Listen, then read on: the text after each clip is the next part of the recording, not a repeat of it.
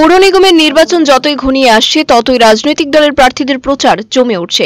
শাসক বিরোধী সব দলই প্রচারে রীতিমতো ঝড় তুলেছেন। রবিবার ওয়ার্ড এলাকায় ডোর টু ডোর প্রচারে বেরিয়েছেন ভারতীয় জনতা পার্টির ষোলো নম্বর ওয়ার্ডের প্রার্থী দীপক মজুমদার। প্রচারে এলাকার নাগরিকদের কাছ থেকে প্রভূত সাড়া পাচ্ছেন। সাংবাদিকদের মুখোমুখি হয়ে কথা বলেন প্রার্থী দীপক মজুমদার। তিনি আরও বলেন, বিগত দিনে তিনি এই ওয়ার্ড থেকে নির্বাচিত হয়ে পুরসভার চেয়ারম্যান হয়েছিলেন। তাই ওনার জনসেবা করার অভিজ্ঞতা রয়েছে। এলাকার নাগরিকদের মৌলিক সমস্যার সমাধান এবং সবকা সাথ, সবকা বিকাশ প্রধানমন্ত্রী নরেন্দ্র মোদীর নীতি নিয়ে তিনি কাজ করতে চান। এবং আমি এই ওয়ার্ডের নাগরিকদের কাছে আমি আবেদন রাখব। সম্মানীয় ভোটারদের কাছে আমাকে আশীর্বাদ করার জন্য আমি আপনাদের হয়ে কাজ করব।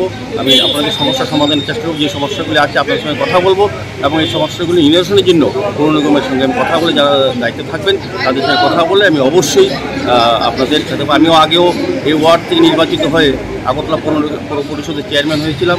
আমার সীমিত ক্ষমতার মধ্যে রাজনৈতিক প্রতিবন্ধী থাকা সত্ত্বেও তখন বামফ্রন্ট পরিচালিত সরকার ছিল। সেই সরকার আমাদের কাজ করতে দেয়নি। তারপর কিন্তু আমি এই এলাকার লোকের জন্য মানুষের জন্য চেষ্টা করেছি। আগামী দিনে আপনারা যদি আমাকে আশীর্বাদ করেন আমি আপনাদের সাথে কাজ করব। দুয়ারে দুয়ারে যাচ্ছে। Bureau report search India TNN.